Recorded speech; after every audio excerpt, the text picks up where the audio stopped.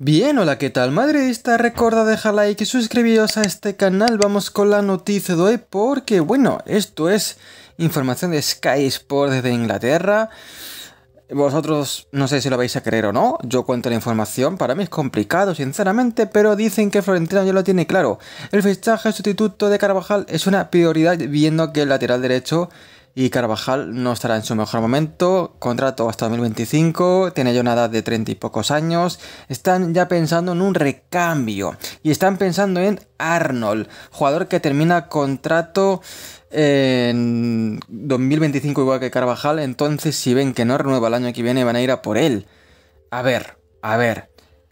Es verdad que si le falta un año de contrato y se quiere marchar puedes hacer el fichaje. Pero Arnold se va a querer ir del Liverpool, va a ser barato, caro. Arnold ha bajado el nivel, es un jugador que, bueno, tiene mucha calidad, pero como lateral deja mucho espacio ahí detrás, entonces a mí tampoco es que me encante. No sería un mal fichaje, pero me dejaría muchas dudas. Es verdad que ahora mismo en el mercado no hay una cantidad enorme de laterales derechos que puedas elegir, pero bueno, eh, nunca se sabe, ¿no? Esto es lo que comenta Sky Sport. ¿Queréis esta información? ¿Lo creéis? ¿Sí o no?